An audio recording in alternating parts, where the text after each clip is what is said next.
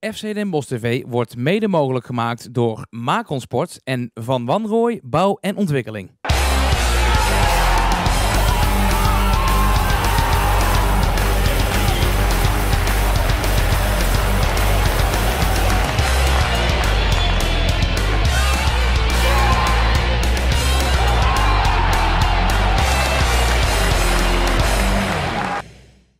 Welkom bij weer een aflevering van FC Den Bosch TV. Het was weer een hectisch slot bij de wedstrijd eh, FC Den Bosch tegen MVV. We leken op een nederlaag af te stevenen, maar er gebeurde toch in de laatste minuten nog iets anders.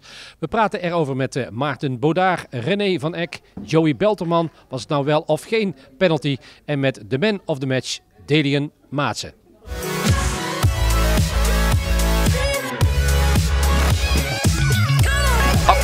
Vrijdagavond ontving FC Den Bosch MVV, de nummer 8 en de nummer 9 van de Jupiler League, tegen elkaar in stadion De Vliert. En Den Bosch ging meteen fel van start hier via Havaar naar Zeldenrust. Die speelt de bal naar de binnenkant en komt de bal uiteindelijk terecht bij Vossenbelt, die een heel leep steekpaardje heeft naar Havaar.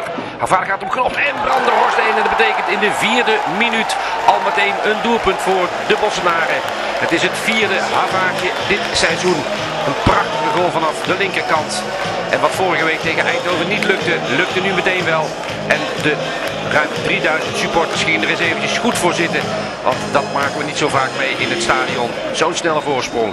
Goed, MVV, een goed voetballende ploeg met een prima middenveld en zeer snelle buitenspelers, gingen het Den Bosch natuurlijk extra moeilijk maken en gingen vol in de aanval. Hier onderschept Disveld de aanval, probeert de bal met links eh, weg te spelen, maar die wordt onderschept. En dan komt de bal uiteindelijk terecht bij Kroe. Kroe die gaat om snelheid uh, heen bij Stasi, komt de bal bij de tweede paal en daar staat Palacios. En dat betekent uh, de 1-1. Gebeurt uh, allemaal in de 18e minuut. En het was op dat moment uh, natuurlijk een terechte tussenstand. Hier een vrije trap van Zelderust. Indraaiende bal. Komt via Maatsen. Wordt hij weer weggekopt. Komt de bal bij Slivka die een basisplaats had deze wedstrijd. Oeh, Vossenbelt komt daar haar ook tekort op die voorzet van Slivka om die bal dan in te knikken. En Zelderust raakt de bal helemaal verkeerd en de kans was voorbij. Jammer voor deze Zelderust die met een soort uh, duikbril speelde. Nog wat last van zijn ogen. En deed dat de tweede helft uh, af. Hier een uh, doorkopballetje. NVV geloofde er echt in. Die gingen echt steeds beter voetballen. En komt die bal weer met een gelukje terecht bij die snelle Kroeks. En die heeft de video bekeken van vorig jaar van VVV. Van Seria. Die dacht dat kan ik ook met mijn linkervoet. En een indraaiende curve in de rechterbovenhoek maakte Heemskerk compleet kansloos. En dat betekende op dat moment de verdiende 1-2 voorsprong voor de Maastrichtenaren. Hier wordt de bal weggekopt uit de verdediging van MVV. En gaan ze weer met hetzelfde recept weer op die snelle kroeg. Prachtige splijtpaas. Staat hij erachteraan. Heemskerk uit zijn doel. Daar gaat hij 1-3. Nee, bal gaat net over de deklat. Gelukje voor FC Den Bosch dat het hier niet 1-3 wordt. Want dan lijkt de wedstrijd eigenlijk al een beetje gespeeld. Hier Vossenbelt. Havaar. Wordt er alsnog een uh, vrije trap gegeven. Vanwege een overtreding op Vossenbelt. En dan wordt bij Den Bosch uh, overlegd. Wie gaat die vrije trap nou nemen? Keeper zet zijn muurtje neer. Bij Den Bosch uh, krijgen we dan eerst een soort vergaderingetje van een mannetje of vijf. En is het uiteindelijk Bodaar. Die met binnenkant voet Matthijs Branderhorst probeert te verschalken. Maar de bal had iets te weinig vaart meegekregen. En dat was dus een appeltje-eitje voor deze uitstekende keeper. Maatsen. Gaat verder met een mooie 1-2. Geeft dan een mooie paas. Dezelfde rust komt die bal voor. Maar via de knie gaat hij over de achterlijn. Levert een hoekschop op. Komt de bal bij Vossenbelt. Die komt die bal in. Via Thomas. En de kluts komt de bal bij Slivka. Heeft die dan de 2-2 op zijn schoen. Helaas. Geheel vrij staan op de penalty stip. Schiet hij de bal net naast. En dat ontlokt hem een Litouwse vloek waarschijnlijk. Er zat geen woord Frans bij. MVV in de tweede helft. Aanvankelijk ook weer sterker als FC Den Bosch. Combineerde wat uh, makkelijker, konden elkaar wat makkelijker vinden ook. Kijk hier maar weer zo'n vrijstaande man randstras op gebied. Komt er een schot door de benen van Hofstede, maar Heemskerk had goed het oog in ook deze avond. En dook naar de goede hoek. Maatsen had de bal naar uh, Zeldenrust. Komt de bal bij Slivka. Slivka draait naar de linkerkant. Schot van Slivka wordt van richting veranderd. En levert uiteindelijk een hoekschop op. Slivka die goed inviel. Maar weinig geluk had met zijn aanvallende acties. Met zijn afrondende acties. Hier een voorzet van Havard. Tweede paal. Hier alle 2-2. Nee, hoe kan die bal er niet in, denkt Vossenbelt. Ik kreeg hem toch tegen mijn knie aan. Maar het was blijkbaar onvoldoende om die bal net over de lijn heen te laten gaan. Dat zag ook trainercoach René van Eck. En Den Bos gooide er natuurlijk van alles uit om nog die 2-2 te maken. Hier een aanval via Havard. Gaat op avontuur. Twee man voorbij, drie man voorbij. Metertje of 25 voor zijn linkervoet. Maar ook hier staat keeper Matthijs Branderhorst op zijn post. Hij weet de bal onschadelijk te maken. Maatse. Aardige paas naar Disveld. Komt er natuurlijk een voorzet vanaf die rechterkant. Wordt de bal weggekopt. Precies voor de voeten van Zelderust. Die denkt ik ga het ook proberen. Maar de keeper van MVV was op deze afstand onpasseerbaar. Dat bleek wel gedurende de wedstrijd. Maar ook MVV vergat zijn aanvallende intenties niet en ging hier via de rechterkant. Via Mustafa komt de bal uiteindelijk weer bij die snelle Kroe. En komt er een voorzet uit.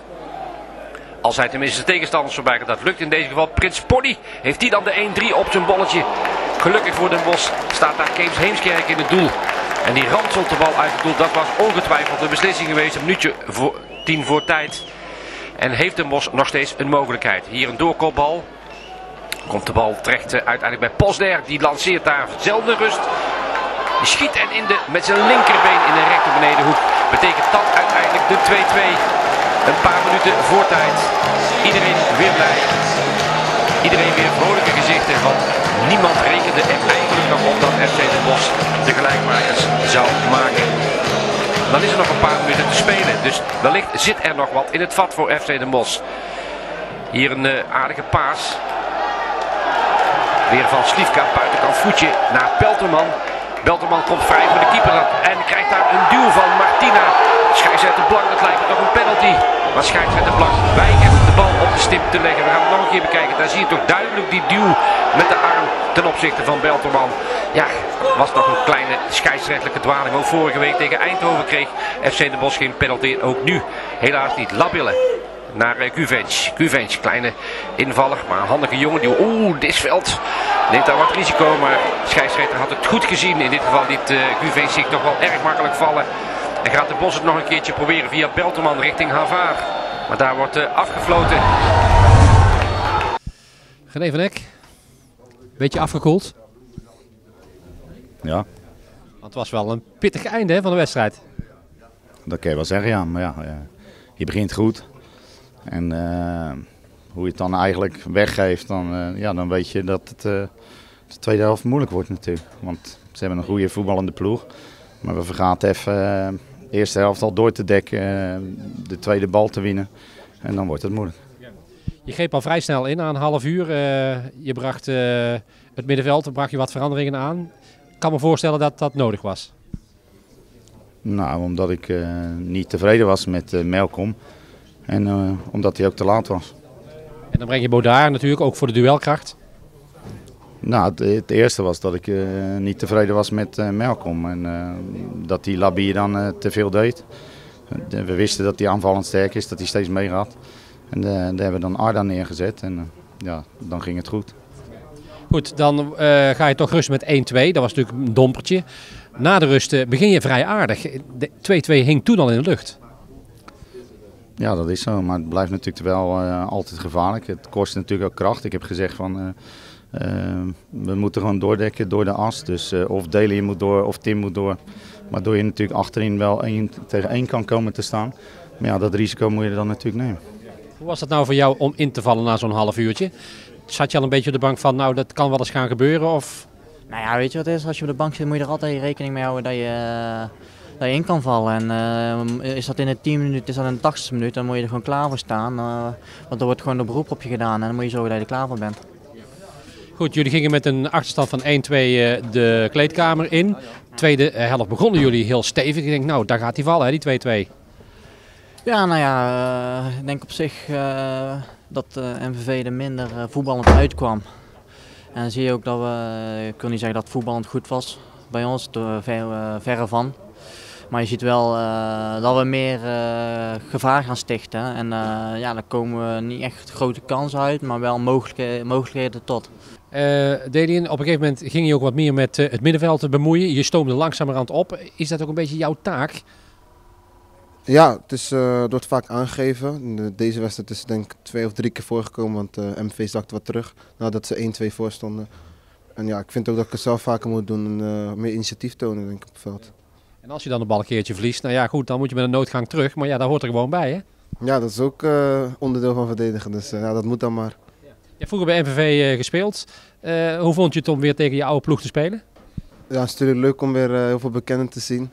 En uh, ja, zij, zij, draaien heel goed in de competitie. En uh, ook een prima club als Den Bosch. Ik heb er uh, geen vuile woorden over. Nee. Goed, dan gaan we naar de laatste vijf minuten. Die waren natuurlijk sensationeel. Eerst dat doelpunt van Virgil. Hoe zag jij dat? ja, ik zag dat hij ineens in het net lag. Dus, Dat was voor jou ook een verrassing? Nee, ja, dat niet. hij kwam natuurlijk wel goed door. Hij kon schieten of een voorzet geven. En ja, dan, dan de beslissing te schieten. En, ja, dat was, uh, ik denk tweede helft, als je de tweede helft ziet, was het niet onverdiend. Dan wordt het inderdaad dus 2-2. Uh, dan is er nog een minuutje of twee uh, te spelen. Dan de actie van Belterman. Hoe heb jij dat gezien? Ja, het zag er zo uit dat het een penalty was. Maar de scheidsrechter zei niet. Dus, 20 seconden later aan de andere kant? dan dacht de tegenstander ook dat het een penalty was. Maar dan gaf hij hem ook niet. Dus ik ik weet het niet dan. Wel of geen penalty, Maarten? Verlos ons. Uh, nou ja, volgens mij moeilijk te zien. Uh, kan je beter aan Joey zelf vragen. Ik stond er te ver vanaf. Nou ja, het was natuurlijk eerlijk geweest als je hem had gegeven. Ja, ik, ik vond zeker een penalty. Ik krijg een diepe bal en hij legt hem in de rug van, van mijn tegenstander. Uh, ja, ik kom voor hem en hij is eigenlijk te laat. En hij probeert nog te corrigeren met een tik of een duw, weet ik eigenlijk niet eens precies. Ja, en ik ben vol op snelheid en ik raak uit balans en daardoor kan ik niet schieten. Bos heeft het wel vaak op het eind van de wedstrijd krijgen ze nog een beetje de geest. Hè? Tegen Fortuna Sittard, tegen Helmond Sport, nu weer tegen MVV. Ja, ik weet niet wat het is. Uh, ik denk dat het uh, vroegtijdig moeten afmaken, denk ik. Want je komt, wat ik zei, 1-0 voor. Ik denk weinig aan de hand echt. En daarna zak je wat terug. Maar dat je het weer, dat je het weer laat komen tot de laatste minuten, dat moeten we wel uitbalansen. Vorige week liet je twee punten liggen. Nu pak je een punt, laten we het zo maar zeggen. Ja, dat zie je goed. Uh, nu pak je een punt. En ja, volgende week geen wedstrijd, Interlandweekend. Die week na zijn we vrij, dus uh, kunnen we onze hoofdjes weer uh, leegmaken. Op naar VV als het goed is. En dan de weg omhoog, hè? richting tweede periode? Ja, zeker. Uh, willen bij de eerste vijf eindigen. Dus ja, dan moet je gewoon elke wedstrijd win willen winnen. En ook ja, van de clubs die boven je staan. Dus. Goed, samenvattend 2-2. Was dit het maximale haalbaar voor deze wedstrijd? Als je de wedstrijd zo nog even voor de geest haalt? Nou, ik denk dat, dat er meer in had gezeten. Als je gewoon na de 1-0 gewoon zo door uh, was gegaan, dan, dan was er meer in, had er meer in gezeten. Maar dat doe je dan niet. Dan laat je de tegenstander weer in de wedstrijd komen en dan sta, staat 2-1 uh, in de rust. Ja, dan weet je dat je, dat je nog meer gas moet geven. Dus ik praat toch met een teleurgestelde trainer? Ja, natuurlijk, want ja, we speelden thuis en dan wil je gewoon die drie punten hier houden.